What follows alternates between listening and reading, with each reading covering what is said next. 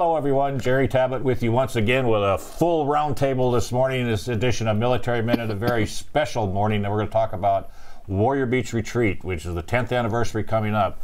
First of all, we have Linda Cope, who's the founder and president of Warrior Beach Retreat and I'll go this side first, John. We'll say the best to last. This is uh, Craig Segrest. He's the uh, Director of Business Development at Emerald Coast Behavioral Hospital. And what Craig is doing is uh, hosting a barbecue fundraiser. We'll talk about that. And then the man that's probably the most important one when it comes to this barbecue is John yes. Trumbull, Bombs Away Barbecue. Thanks to all of you for coming in today.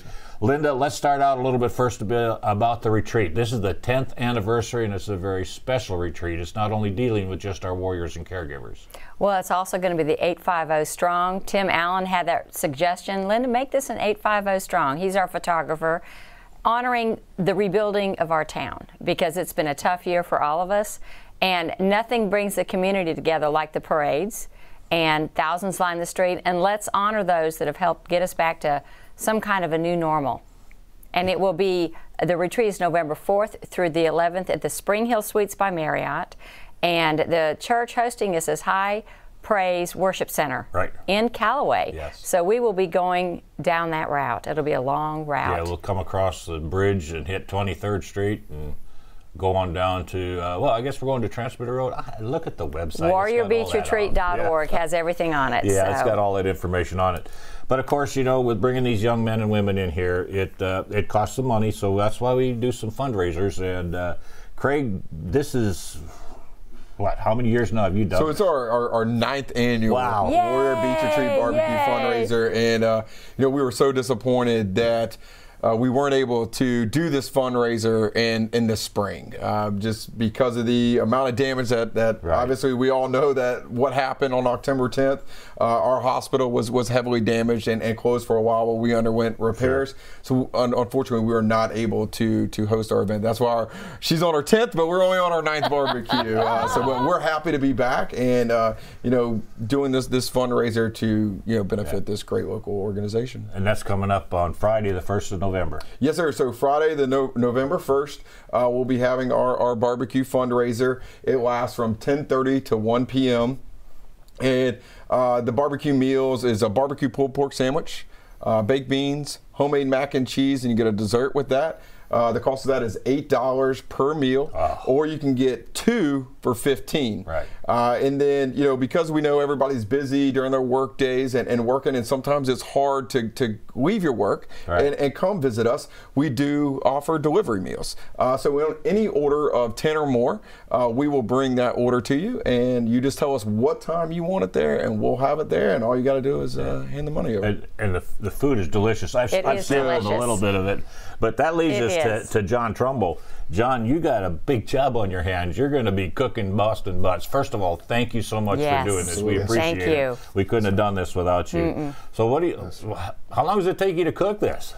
Well, typically, uh, just a standard, but about 30 hours. We slow cook Wow. at 225 for a continuous 25 to 30 hours uh, per butt. So we'll be cooking for a long time.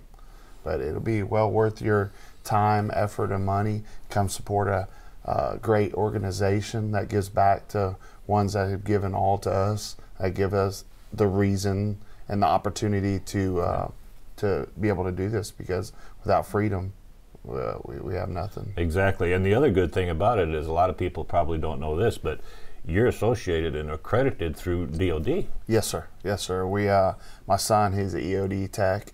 Uh, my, my whole family, uh, my father's retired military.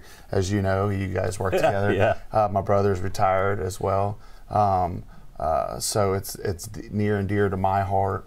And uh, one thing my wife and I wanted to do was sow back into the community and give back to the military before we launch our actual first day for Bombs Away Barbecue. And it's so much appreciated. So we got this fundraiser all set up. Craig graciously hosted it over there. John's cooking. Yeah. Linda, tell us a little bit more about the retreat now. Uh, a lot of people have been following this and uh, they go to the website, but tell us a little bit about it. Well, we started it after our son lost both legs above the knee in Iraq and wounded his hand. And that was about 13 years ago, November 12th, when this happened. And we started this 10 years ago, and we focus on the caregiver, not just the wounded Right. warrior. Mm-hmm. We feel they are the unsung heroes of war. Mm-hmm. Imagine Emerald Coast, you all deal with the caregivers as well as the warrior with what you do to help these heroes. They actually have a wing. Right. Craig, talk about that. You've got a wing out we there gotta- for the go ahead and veterans. tell us about that. Yes, Yeah. yes. So uh, Emerald Coast Behavioral Hospital does have a, a 30 bed unit that Mm-hmm. is dedicated to active duty service members. Uh, so you know, much like you guys talked about, uh, th- these these brave warriors have, have given so much uh, for us to enjoy our daily freedoms that we enjoy every single day. It's just a, a small thing that we can do to help them get their life back together. So you know, a lot of these these brave warriors are, are dealing with you know anxiety issues stemming from their time overseas, PTSD, um, you know, dealing with some depression, Yeah. um, you know, from from just being in, in combat. So you know, our our role is just to give them that normalcy back in their life. And that's one way that we can do it. And the other way that we can do it is supporting uh, the Warrior Beach Retreat. And that's why we're, we're happy to do it. Is, is Right. anything we can do to help support them. Um, you know, we're, And, we're here for and you don't- don't realize, uh, you probably realize somewhat, but John, you realize somewhat.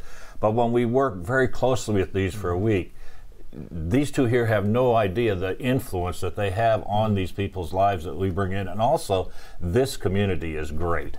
it's none of this. We wouldn't be in our 10th year without support from Emerald Coast Behavioral Hospital and with John stepping up and all the community that has donated so many meals, restaurants, activities for these heroes and their loved ones that are coming from all across the country.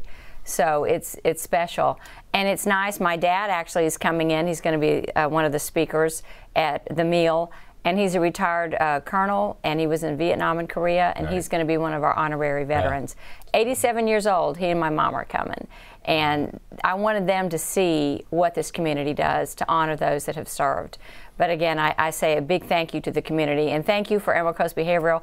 This is our biggest fundraiser. It is. And when they weren't able to do it last spring, we are going, what are we going to do? And we just said, Lord, you provide. And He made a way. We had four fundraisers canceled because of the storm. Right. And we thought, Lord, this was your vision, not ours. And we're going to step out in faith because we had so many couples that were on the list to come. And it was a case of we could cancel. I was being advised, Linda, people will understand. But you don't know what marriage is on the verge of divorce mm-hmm. or what, what warrior or caregiver is on the verge of suicide. Right. Mm-hmm. And we thought, Lord, we're going to continue to be your hands and feet. And He made a way in a beautiful, beautiful way. So, again, we can't thank them enough. And even for this fundraiser here, the people they thought could do it through no fault of theirs could not because so many of the, st- the people that helped them were so hit by the storm. They've got no homes. Right. So at my husband's work, guess who walks in the door the day I find out? And he said, "Sure, I'll do it." I'm going, "Yes." So it's just it's all it's it's neat to see how things come together. Well, and John, you have firsthand knowledge of that. Uh, your dad, great guy. I, I was in the service with him. Your son in the service. Your experience yourself from someone associated with a veteran. How does that make you feel inside to to realize the love and support that is out there? That we just don't seem to get unless we go ahead uh, and take care of it ourselves. Uh, that's a touchy situation for me right now. Um, it's deep rooted. It, uh, it means a lot. And when I was asked, there was no questions. There was no no. It was an automatic Yeah. yes. I didn't even let them finish the sentence of how many people we were serving or Right. what we were going to do. The answer was yes. The mission is to be fulfilled, and that's what we'll do. And, and Craig, over there at the, the units you have, you work with these veterans, you- the active duty. Uh, how does that change them to come to your place? Because I know they come in in a very dark place, a lot of mm-hmm. them. And then all of a sudden, what do you do to get them back into what they they consider their norm? It may not be what we consider norm for us, but for their normal to make them feel like they're a good human being. They're contributing. They they have a purpose on this world. Yeah, you know, it, it, it's something I've, I've learned uh, after Hurricane Michael is this is our new normal. So everybody's Yes. normal is, is different. Right. Um, so you know, we, we want to get you out of that dark place. We want to get you to your new normal, and hopefully that's very close to what your normal was before. Uh, there's several ways that that we do that, and. Uh, I can let our clinical staff tell you the, the more ins and outs of, of how they do that and the amazing work that they do. But you know, we, we, we want to find different approaches for everyone. Right. Not everybody wants to sit down and talk about what happened and what they're going through and how they're feeling. So what we try to do is we try to find different treatment modalities that will work for each person. Um, so along some some ways is prolonged exposure. Well, that's just talking about it, sitting down, and we're going to talk about it every day, um, and we're going to kind of work past that. How does that make you feel? Other ways are uh, rapid eye movement desensitization. Uh, so there's some really really cool things with, with that. We do TMS, which is transcranial magnetic stimulation. It's used to, to treat uh, depression, chronic severe depression. We do acupuncture. We do yoga, and then new to Emerald Coast Hospital is we have a new staff member, and his name's Erwin and he is a two-year-old yellow lab, and he actually Oh, um, stays there and works at the hospital and, and does pet therapy for us there. and so, Oh, wow. you know, we we've had several instances. Uh, we had a, a- a service member the other day that got some bad news uh, about a friend of his that uh, you know had passed away in a, in a training accident, and uh, you know was was obviously uh, uh, upset about it and you know we brought the dog in and and he has two two labs back at home and was able to you know really kind of bring him out of that and, and, Wow. and and you know it, it's just amazing watching this dog Yeah. put put a smile back on these these people's faces it is amazing what you guys do too. And you know, this fundraiser you're doing on the first of November. Uh, you can go to our our, uh, our website and see the information on that. yeah, And we have a we have a flyer flyers here out. there for you if you John, you're going to be doing the cooking. Linda, we got just a couple of two, three minutes left here, but one thing I'd like to to let the community know too is when these young men and women come in here, they feel like they're all alone. But this community opens up their hearts, opens up their arms, and shows them the love.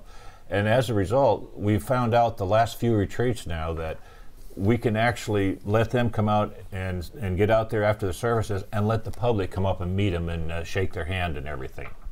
Yeah, so after the after the ceremony, which will be at seven o'clock at High Praise Church, they um, have a chance to shake the hands of these men and women that have served.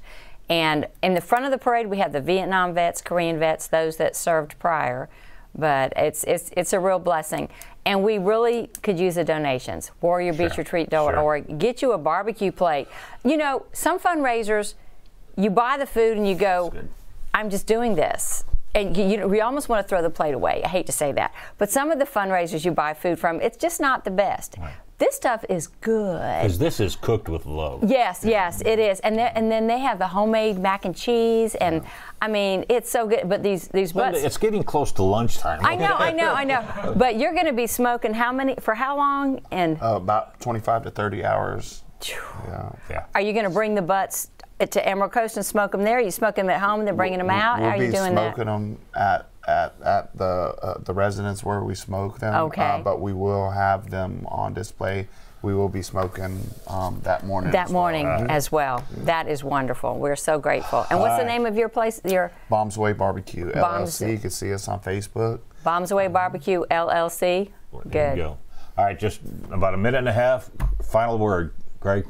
Come get you some delicious barbecue and and support a, a, a great local organization. hundred percent Yes. of, of the funds go to the Warrior Beach Retreat. So if you buy a meal from us for eight dollars, they get eight dollars. We don't take any percentage of it. Everything goes to them. And we appreciate that. Yes, sir. John, final word.